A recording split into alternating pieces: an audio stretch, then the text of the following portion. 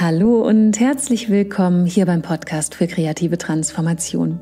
Ich bin Verena König und bewege heute in einer weiteren Fragenfreitag-Folge mit meiner lieben Kollegin und Freundin Kati Kleff aus der traumasensiblen Sichtweise eine Hörerinnenfrage. In dieser Folge geht es letzten Endes um die Frage, was es vielleicht damit auf sich haben könnte, dass wir uns fast ausschließlich mit unserem Heilungsprozess beschäftigen, auf uns selbst schauen, uns überreflektieren und gleichzeitig das Gefühl haben, aber nicht wirklich vom Fleck zu kommen. Ich freue mich sehr auf diese Auseinandersetzung mit dieser sehr interessanten und wichtigen Frage und begrüße ganz herzlich dich hier, liebe Kati. Hallo liebe Verena, heute mal wieder räumlich voneinander getrennt, aber dennoch im Herzen tief mhm. verbunden.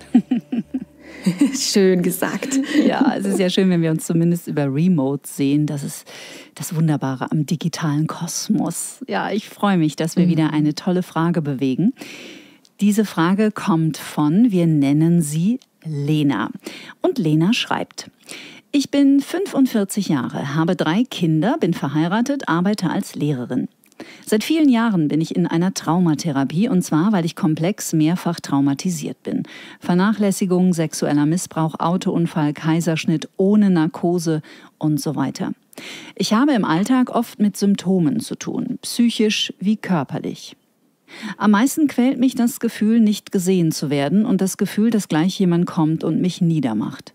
Während der Jahre hat sich bei mir eingeschlichen, dass ich quasi wie Dauertherapie mache. Ich lese jedes Buch zum Thema Heilung, was mir in die Finger kommt, mache Online-Kurse, höre Podcasts, suche im Netz, reflektiere mich permanent und bin mit meinen Gedanken ständig bei mir und meinem Befinden und Analysieren. Das kann nicht gut sein. Ich lebe ja fast nur noch für meine Heilung, die sich trotz ständigem Kampf nur ganz zäh bis gar nicht einstellt. Warum mache ich das? Wie kann ich das mit einem guten Gefühl und guten Gedanken ändern? Kennst du das von deinen Klienten auch? Wie gelingt es anderen? Hat das was mit Loslassen zu tun?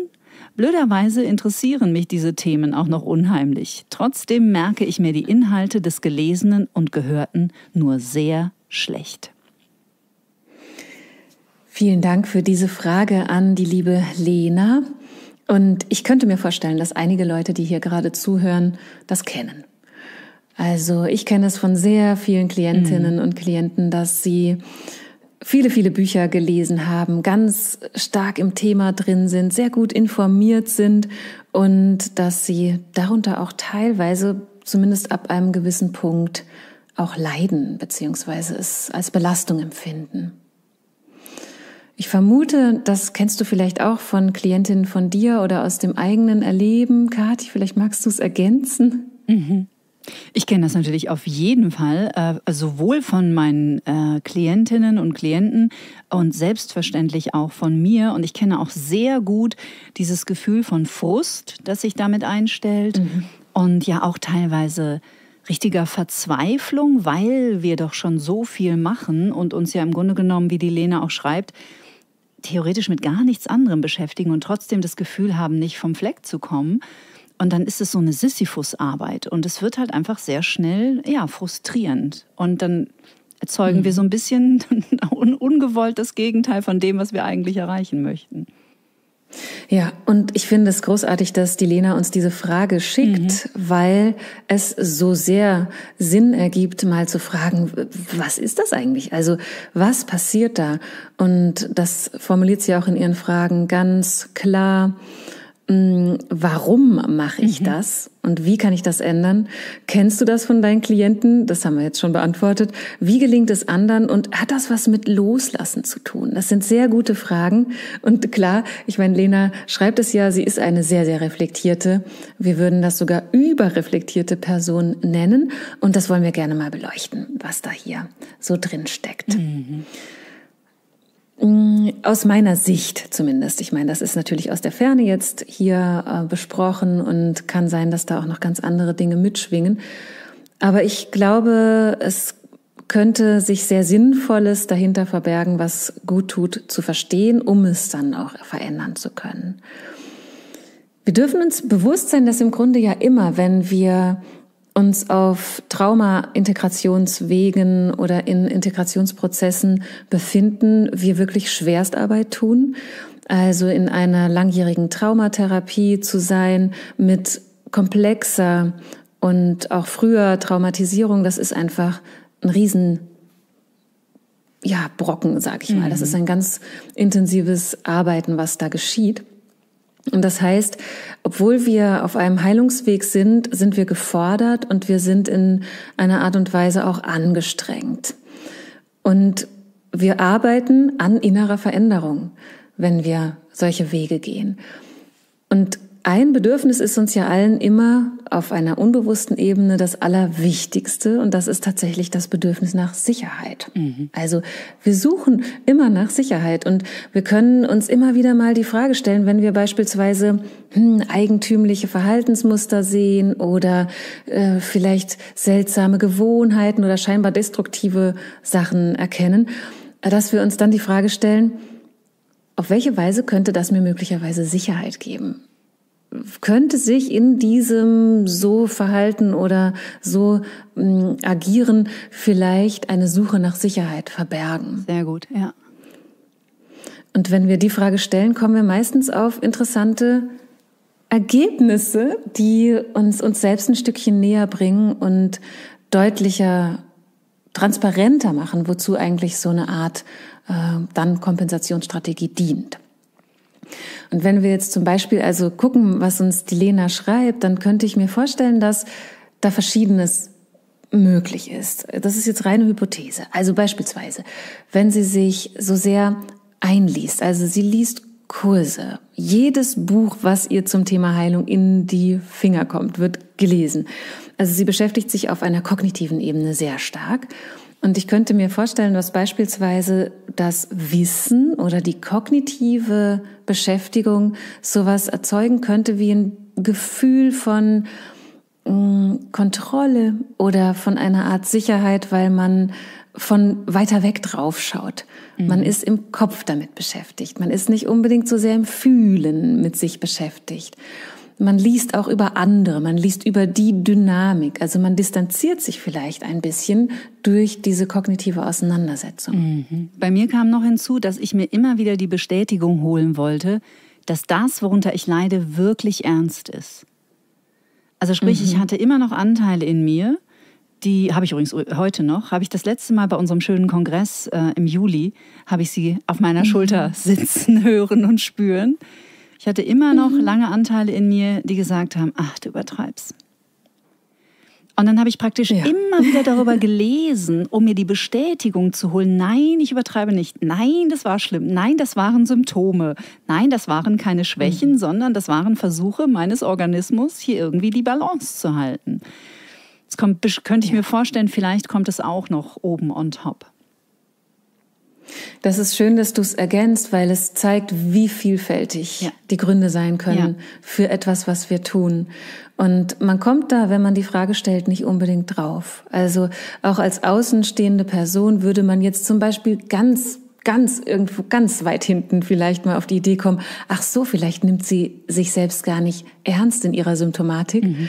Und für dich war das so ein ganz wichtiger Aspekt an dem, an dem Lesen und sich selbst sozusagen bestätigen und mm, von den Quellen auf der Schwarz-Weiß-Ebene, also Schwarz auf Weiß-Ebene sozusagen eine mm, sowas wie eine Legitimation zu bekommen für das, genau. was man selber fühlt. Ja, Legitimation ist ja. das richtige Wort. Mhm.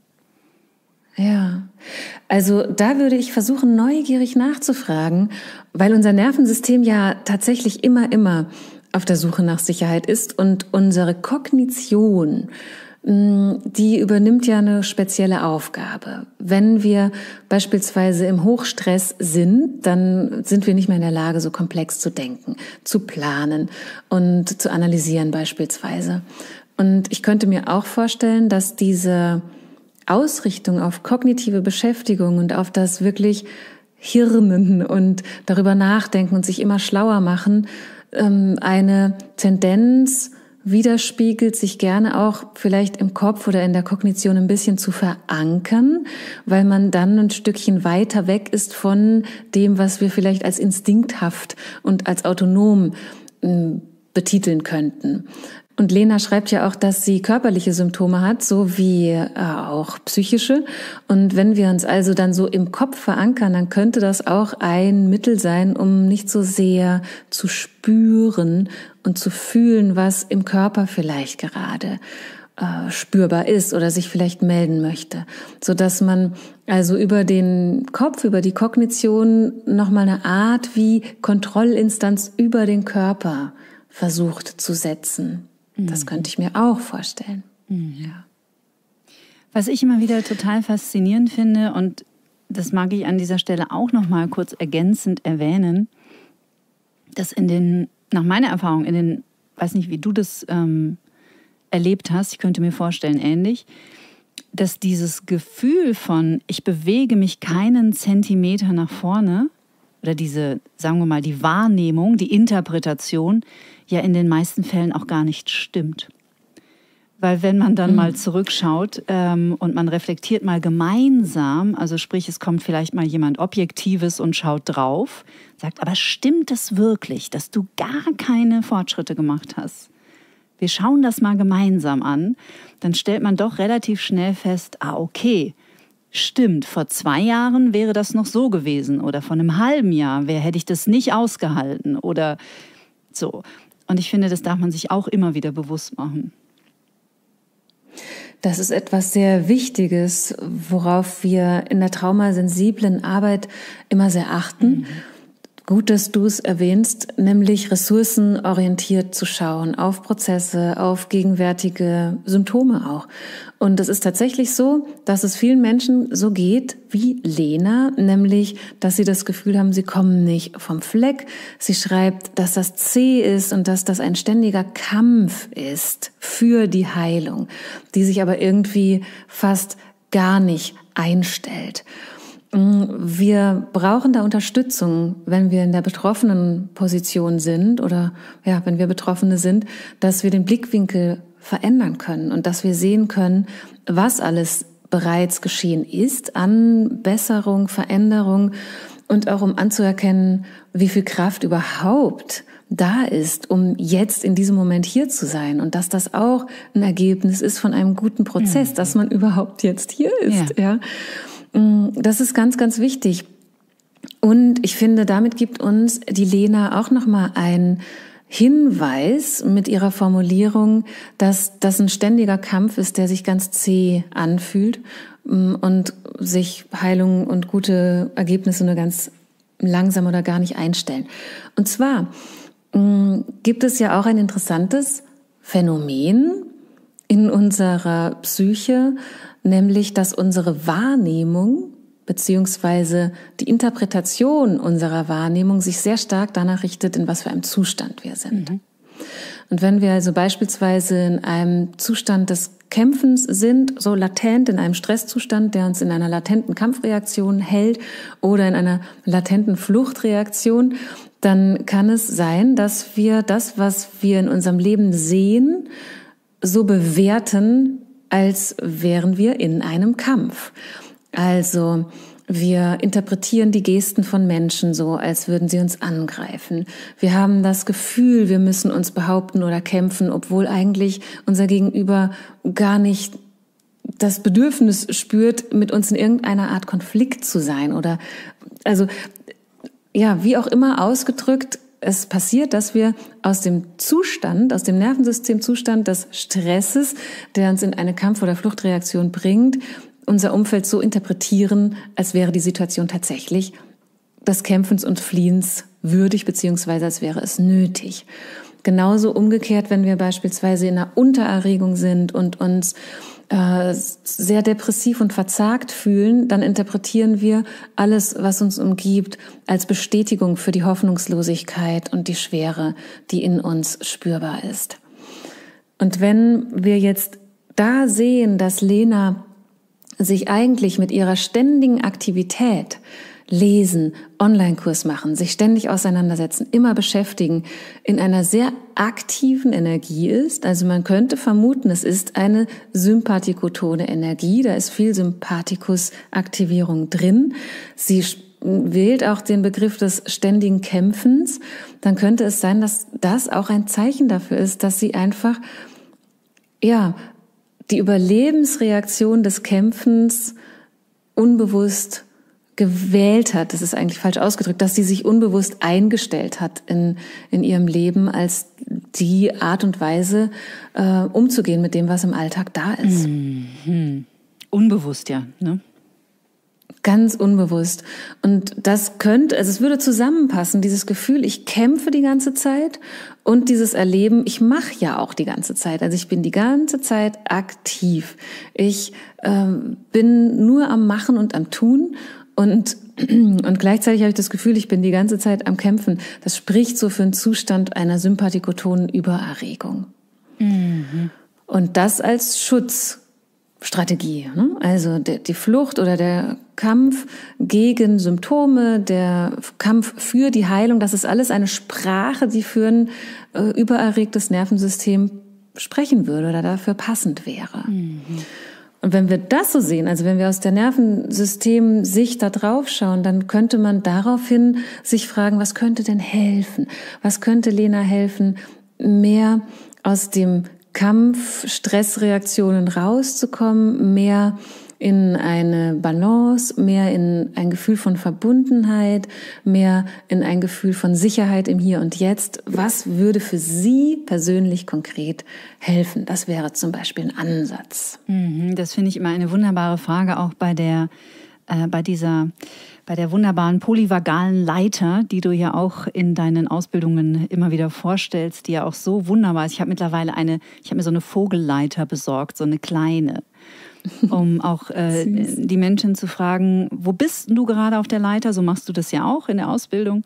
Und was bräuchte es denn, um vielleicht aus diesem Kampfmodus wieder ein bisschen mehr so in diesen ventral-vagalen Zustand zu kommen, also in den Zustand der Verbundenheit weil, und da sind wir wieder bei uns Menschen als sehr komplexe und vor allem auch individuelle Wesen, es gibt kein One-Size-Fits-All. Es gibt vielleicht ein großes genau. Angebot, ähm, aber was einem dann hilft, das weiß ja dann doch am Ende jeder für sich am besten, oder? Ja, das sowohl als auch. Also es gibt kein One-Size-Fits-All im Sinne von pragmatisch, inhaltlich, konkret, mhm. aber es gibt eben übergeordnete Prinzipien, mhm, die klar. so eine Art One-Size-Fits-All sind, die genau, die wir uns nochmal vielleicht auch bewusst machen können. Du hast gerade die polyvagale Leiter erwähnt. Das ist ein Modell aus der Polyvagaltheorie, was entwickelt wurde von Deb Dana. Und das äh, ist sozusagen eine Verbildlichung unserer verschiedenen Nervensystemzustände, mm, dass man nutzen kann oder die man nutzen kann, um noch besser sich darin zu üben, sich selbst einordnen zu können im Rahmen dieser verschiedenen Zustände. Denn sobald man ungefähr weiß, in was für einem Zustand ist, kann man eben sozusagen Prinzipien folgen, um aus Zuständen wieder herauszufinden. Und die One-Size-Fits-All-Ebene ist sozusagen die, dass immer, wenn wir in dysregulierten Zuständen sind, es immer darum geht, Regulation zu erfahren oder Co-Regulation zu erfahren, also in Verbindung zu treten mit etwas, was Sicherheit gibt. Also statt weg von etwas, entweder durchs Fliehen oder sich verstecken oder statt gegen etwas zu kämpfen, was man nicht will, zu schauen, womit kann ich mich verbinden, was mir ein Stück Anker ist im Hier und Jetzt, ein Stückchen Sicherheit gibt, ein Stück das Gefühl von, ich bin jetzt gerade mm, in Kontakt mit etwas, wo, was mir positive Empfindungen und Assoziationen gibt. Mhm. Das ist sozusagen das One Size Fits All. Ne? Mhm. Also anstatt genau. zu flüchten, sich worauf kann ich mich zubewegen? Genau, mhm. ja, exakt. Das würde einen Zustandswechsel erleichtern. Statt vor der Gefahr zu fliehen, wir reden natürlich jetzt immer von Situationen, wo keine akute Gefahr da ist, also statt in der Reaktion zu verweilen, zu verharren, zu schauen, wohin kann ich mich orientieren, was mich aus der Reaktion herausleitet. Mhm. Und da ist es schön, wenn man sich dann auf die individuelle Suche macht. Also dann zum Beispiel zu fragen, im Fall von Lena, was gibt's denn in deinem Leben, an das du dich erinnern kannst oder also, also woran du dich erinnern kannst, dass es das gibt, was dir ein Gefühl gibt von Verbundenheit. Zum Beispiel schreibt ja Lena, sie ist Lehrerin, sie hat Kinder, sie ist verheiratet. Das klingt nach viel Stabilität. Das klingt nach viel relationalen Ressourcen, also nach viel Beziehung, die möglicherweise auch einfach gut tut. Und vielleicht gibt es beispielsweise äh, besondere schöne Erinnerungen an Tätigkeiten, Erlebnisse mit ihren Kindern. Vielleicht hat sie Bilder von denen in ihrer Nähe, wenn es ihr nicht so gut geht. Ähm, oder es gibt tatsächlich auch Dinge, die sie tun kann, wenn sie sich fragt, was sind denn Dinge, die ich tun kann, um mehr in Balance zu kommen, statt mich auf ein Buch oder einen Kurs zu stürzen. Mhm. Ne? Das ist dann hochindividuell und das ist sozusagen auch die Antwort auf die Frage, wie gelingt das denn anderen, aus diesen Selbstüberreflexionen rauszukommen? Ich würde auf diese Frage eben antworten, wie gelingt es anderen, aus ihren Überlebensstrategien und Kompensationsstrategien herauszukommen, aus den dysregulierten Zuständen? Und da würde ich antworten, es gelingt ihnen, indem sie ihre individuellen Ressourcen nutzen, die dafür da sind, aus den autonomen Überlebensreaktionen herauszufinden. Mhm. Und jeden Tag aufs Neue zu üben, zu bemerken, wenn man sich in dysregulierten Zuständen oder in alten Überlebensstrategien befindet. Also es passiert mir immer noch. Also ich musste gerade so schmunzeln, als ich dir zugehört habe, weil ich dachte, das ist doch so interessant. Immer wenn ich meinem Partner unterstelle, er ist im Fluchtmodus, wer ist denn eigentlich wirklich im Fluchtmodus? Ist es wirklich? Oh, gute Frage. Ist es wirklich er? Oder sind es nicht doch vielleicht äh, ähm, alte kleine Anteile, die äh, aus dem Hinterhalt geschlichen kommen. Völlig unbemerkt und äh, wieder auf so eine brillante Idee kommen wie, ach komm, lass uns doch lieber gehen, bevor er geht. Er geht sowieso. Oh, ja, oh ja, Gott. Ja, ja. Mhm.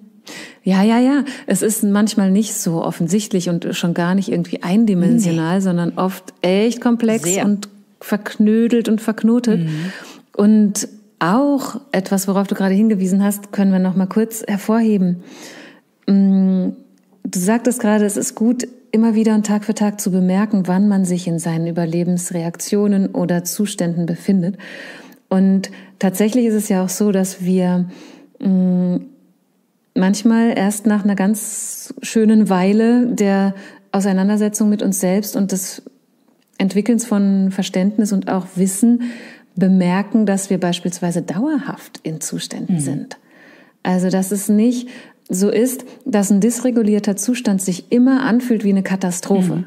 Also dysregulierte Zustände sind nicht ausschließlich Panikattacken oder totale Lähmungserscheinungen, sondern ein dysregulierter Zustand ist auch ein Zustand einer latenten, ganz vielleicht subtilen, aber starken Übererregung in unserem Nervensystem ein latentes Getriebensein, das Gefühl, nie zur Ruhe zu kommen, nicht gut schlafen zu können, mm, diverse Vermeidungsstrategien an den Tag zu legen. Das kann sich anfühlen wie der normale Zustand, weil man den einfach kennt mhm. und weil der schon früh geprägt wurde. Und es ist aber ein dysregulierter Zustand, weil wir eben nicht in Balance sind in diesen Zuständen, in diesen mm, Umständen, in denen wir dann uns sozusagen eingerichtet haben.